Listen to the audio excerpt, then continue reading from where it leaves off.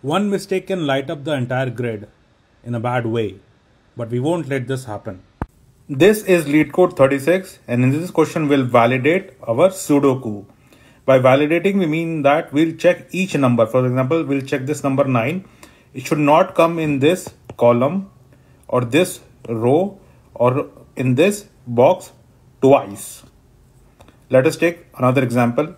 We can take any random number. For example, let's take this 3. So this 3 should not come in this column or this row or in this box twice. This is our code. As we can see, we have set the row, the column and the box. And if we are checking if the value is present in that row, then we're returning false. If the value is present in that column, then we are returning false. If the value is set in that box, then we are returning false. Else, we are adding that value. And if the Sudoku is valid, we are returning true. If you have any issues with the code, then please comment in the comment section. If you like this video, then comment like in the comment section. And for more tips and tricks, please follow my channel Coding Fundamentals.